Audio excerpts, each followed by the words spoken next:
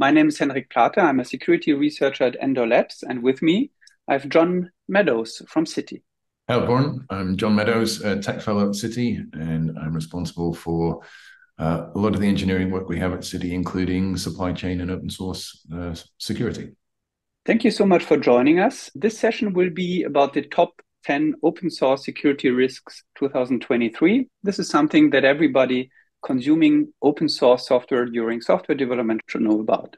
We start with a very quick introduction on why this matters, why this is important at all. And we will brush very quickly over it because we all know how important open source software is these days. So it is eating, software is eating the world, but open source is eating software. These are two statistics the one is from a paper published in 2021 showing that 86% of around about 7,000 commercial applications were coming from open source software projects, while 14, roughly 14% was just yeah, proprietary developed for this specific purpose of the application.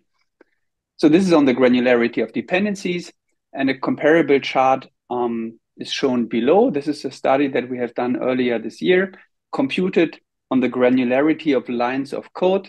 We looked at 3,000 something Census 2 packages, and we found that more than 1,380 or 1,380 packages exactly have 90% or more open source lines of code included.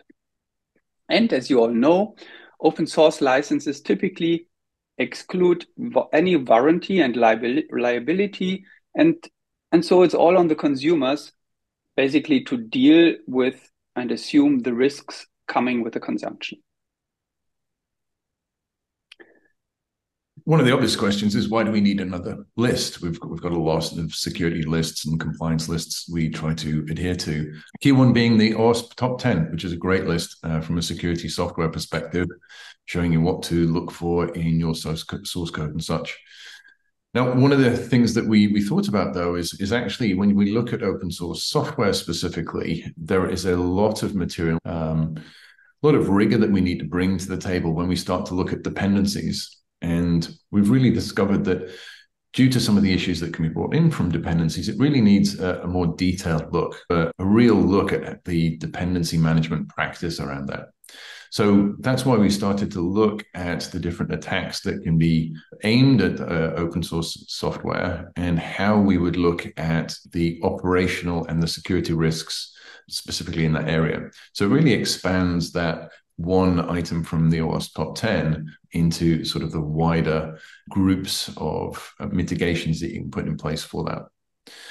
But what do we mean by the OSS uh, open source dependencies? And I think that's important just to quickly cover. It's really looking at any of the open source software that's developed or managed by third parties and pulled in to your SDLC when you execute it.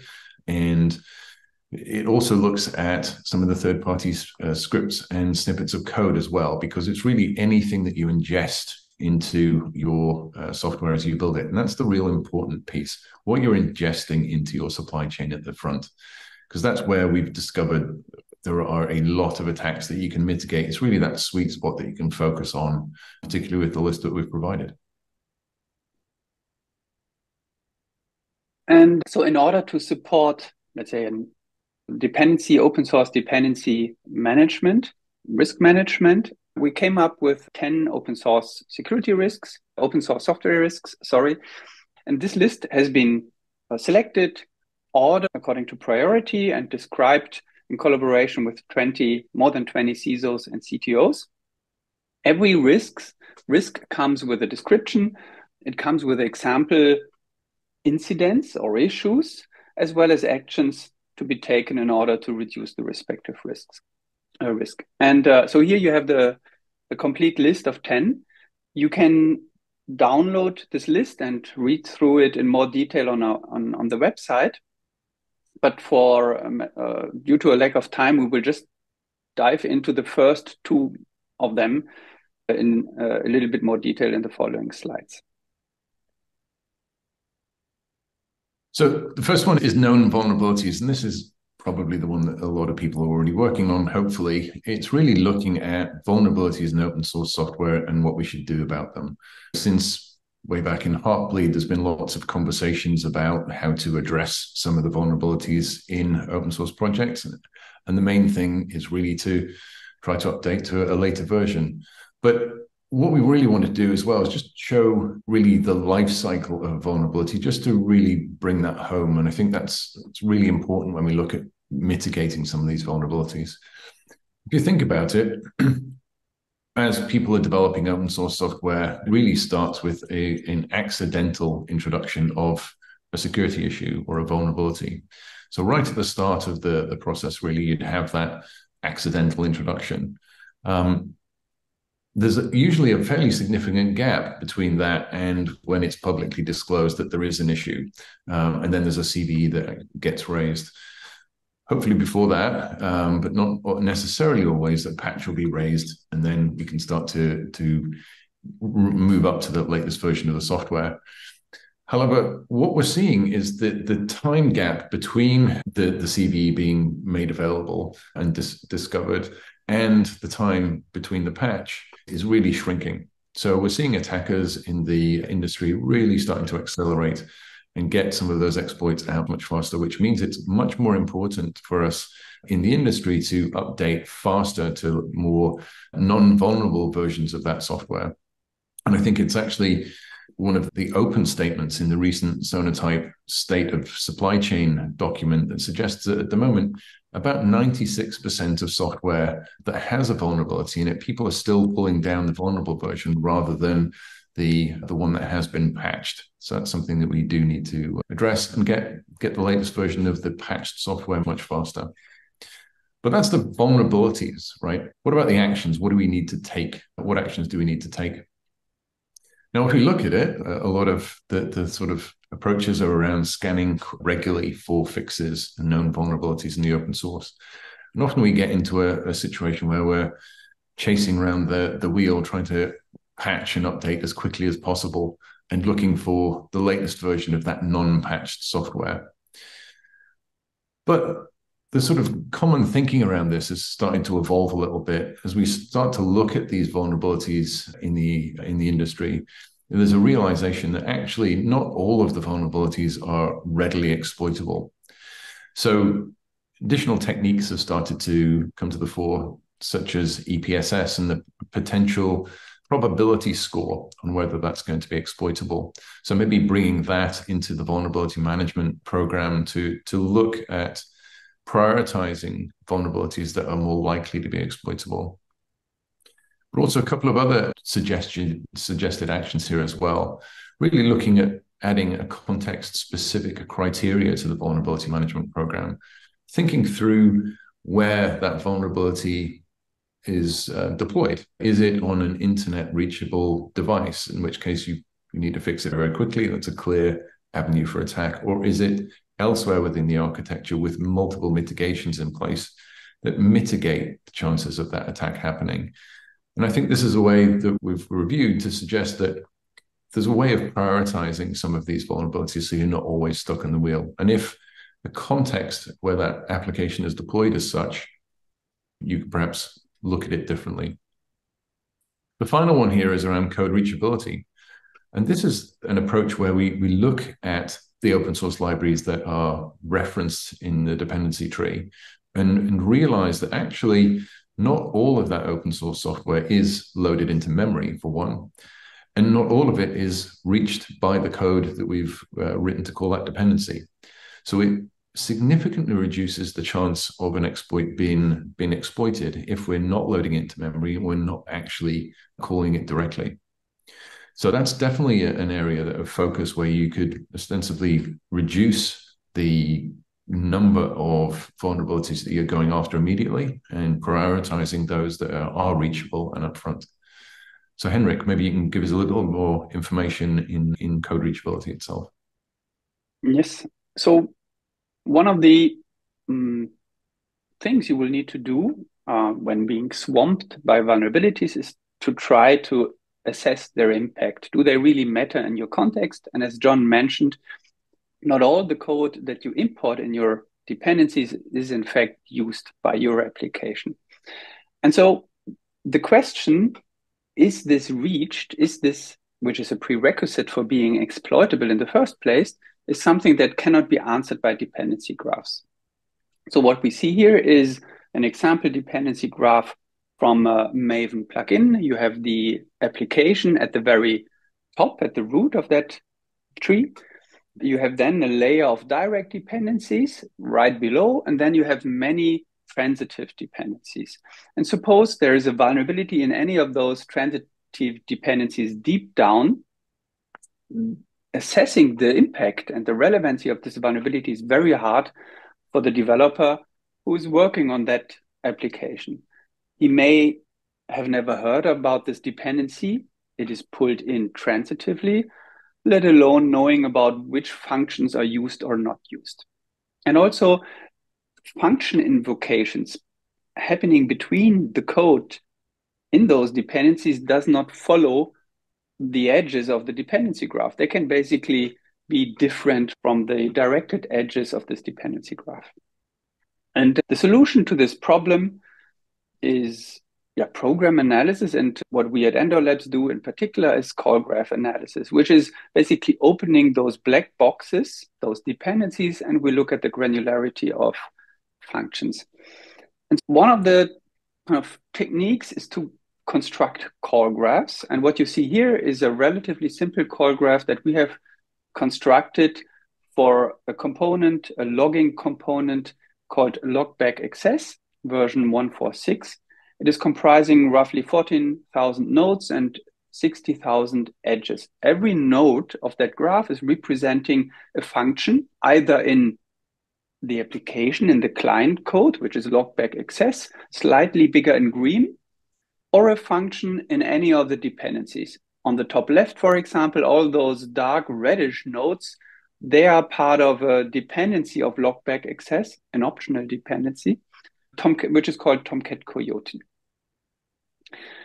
And as we will see, those call graphs are a powerful tool for accomplishing a number of things. The before mentioned reachability analysis, but you can also use it, in fact, to produce those numbers that I have shown in the very beginning of the presentation. What is the ratio of internal code versus external code? You could look for change impact analysis because these are the functions that I invoke. And so if you update a dependency, you should make sure that those dependencies, that those functions you call into are still present in the new version. Or Otherwise, you need to change your client code.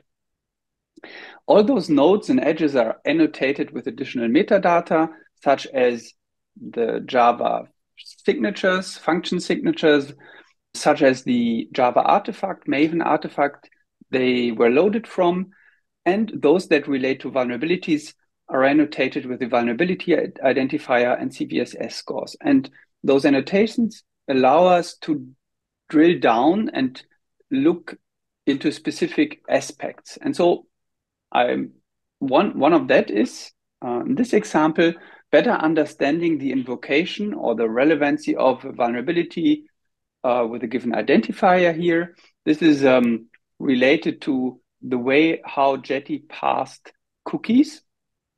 And we see from um, after having removed all the other and edges and nodes that the vulnerable code is pretty straightforwardly called by the client code. Again, client code is on the top. There are different green nodes belonging to logback access. And just with three hops, we go through another component, the Jetty server, to the vulnerable function in the component Jetty HTTP, the vulnerable function being named cookie cookie cutter parse fields. And so you see by removing all those edges, we can focus on the analysis of a given vulnerability, which is first of all evidence to the developer that this vulnerable code and this vulnerability really matters in his context. And secondly, it could also help to basically solve the issue to develop, for example, custom mitigations. Suppose if the Jetty HTTP component cannot be updated for whatever reasons, maybe there's no fix yet, or there are some other conflicts. Right, so that concludes the deep dive into call graphs and how they support vulnerability assessments. Next one up is uh, compromise of legitimate package. This is different from some of the other approaches you might see where malicious open source libraries could be deployed via typo squatting and such, where there's different name given to an open source package and you may inappropriately or incorrectly download that package. This is more focused on legitimate packages that have been deployed for a while. They're perhaps trusted packages that is already part of an organization. But then the developer, or, or rather the contributor of that software, was somehow compromised, or that package was, leading to that compromise. So if you look at this in a little bit more detail, what, what's really happening here is the supply chain of that open source pr- product has been compromised in some way. It could be right at source, where the source code for that open source project was affected, or the way that open source library was built got affected at that point. And that led, obviously, to that code directly being ingested by the end user and consumer and causing an issue. So there's a number of different actions we can take to mitigate that. But before we go into it, I do want to point out the difference between malicious and vulnerable software. These things are very different. So, whereas vulnerable software that we were discussing in um, uh, point one was really an issue that may have been exploitable, and you can review using code reachability analysis whether it was exploitable. And often it, it's truly problematic if it's in a production server that can be reached, but there's certain mitigations you can put in place. We need to differentiate that from malicious open source software, or rather malicious attacks on open source software. This is where an attacker gets in and implements a payload directly in that software that is guaranteed to be exploitable. It's effectively a remote code execution by design, uh, remote code execution vulnerability by design. As soon as that is ingested into any consumer, whether it's on the developer desktop or another system, it will exploit itself or action, perhaps providing a foothold into the consumer or executing some initial theft of material, key material. Whereas vulnerabilities may be an issue and you need to prioritize it to, to remove that. Malicious functionality, malicious code is something that absolutely is guaranteed to be a problem and needs to be prevented from getting into your, your consumed uh, enterprise.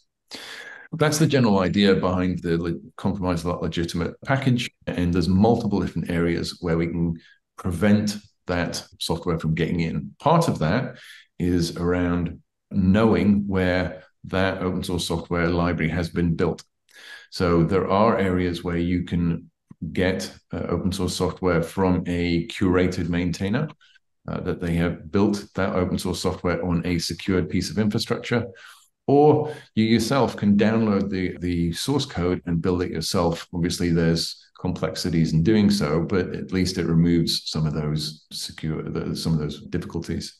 And then when it gets into the internal consumer, put the secured open source library in a secured container repository and always retrieve it from that. So at least you prevent the ingestion right at the start there. So Henrik, maybe you can tell us a little bit more about some of those attack paths. Yes, I think we were mixing up a little bit the order now because you went quite a long way in the mitigations or actions already. Maybe let us jump one slide back, which is giving a little bit more information on the attack surface. And you have mentioned a couple of, let's say, possibilities for attackers already to conduct such supply chain attacks.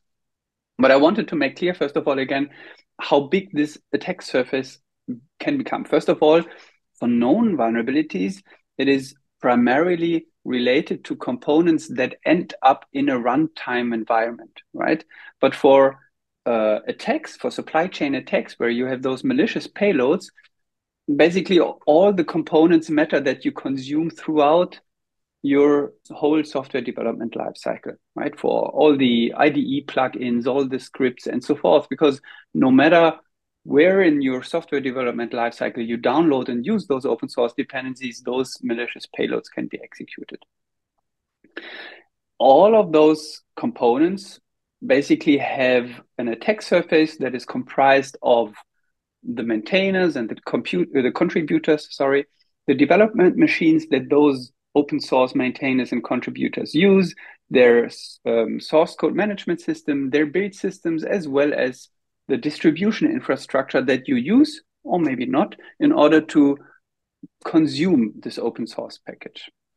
And in order to describe this attack surface more comprehensively, I uh, we build on a taxonomy of attacks on open source software supply chain. So this is a paper that we have co-authored with, with a former colleague from SAP, uh, Pier Giorgio Ladisa, published in 2022, and which is basically a very comprehensive and comprehensible taxonomy. There is an open source uh, repository that allows exploring this attack surface in some interactive way. I have linked it here. It's the Risk Explorer. You find it on our website. And on the right hand side, you see such a, screen, a screenshot of this interactive attack tree visualization, starting from basically uh, attackers, where from the left to the right, you basically refine the techniques available for attackers to inject such malicious code. And I just put one of the recent examples, I think from last week, where there were some an attack ongoing where the attacker basically impersonated the Dependabot GitHub user in order to create pull requests in the hope they would be accepted by project maintainers believing that this comes from Dependabot, right? So this is just one of the many techniques in this case to inject it into the sources. But of course, and we have seen news articles on a regular basis, there are other techniques in order to inject malicious code in the build or in the build in the distribution infrastructure like package registries. As John mentioned early on, there are different actions. One is to vendor basically the respective open source component to rather than uh, consuming pre-built binary packages to copy over the source code and build it yourself. But this comes with a lot of effort, though. But then at the same time, it is helping against all the attacks against build infrastructures and against the distribution infrastructure because you start from the sources. You're not depending on anybody else building and distributing it. Other possibilities are when it comes to consuming binary packages is to use version pinning. So do not to not automatically update uh, something to the latest version that may be compromised. To use lock files to extend this pinning also to transitive dependencies and in all of the cases to verify digest and signatures all the way. An internal registry within your organization gives you additional control about what you consume. You can run additional checks. At this point, this such registries would also be used for storing your own internal artifacts. And last but not least, you can also run malware and vulnerability scans. And this last bit is something that you would do in any case, because even if you build your your dependencies from the sources, as I as we have mentioned, those sources could also include attacker contributed code. So no matter how you build it and how you consume it, you can also search for those. All right, and this concludes our slide on the second of the top 10 open source risks. So how do we continue? So what's next, right? Look, th this is uh, a group of 10 uh, open source risks, and we really got together as a group of security specialists and put this risk together. But we're really looking at getting additional feedback and additional input from everyone else. Really looking at getting additional practitioner feedback to review the work and perhaps extend it uh, for future versions of this. There's certainly a lot of additional risk measures that we feel that could be brought to that list, and it'd be good to hear from other people what has worked appropriately from from their deployments and really improve the work that we've got there based upon open conversation. And part of or going forward what i find very important is to basically find or develop where necessary risk measures to make this a little bit more yeah more concrete if you will to measure where are we.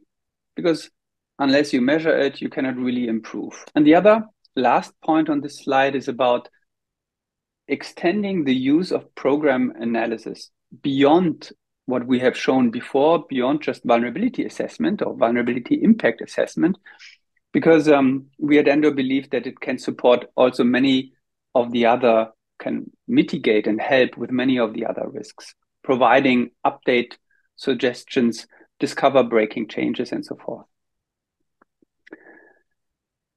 And last but not least, we also, John and I, wanted to use the opportunity to make a shameless plug for the other work the two of us are doing as part of the Open SSF. So, together we're working on a high level threat model.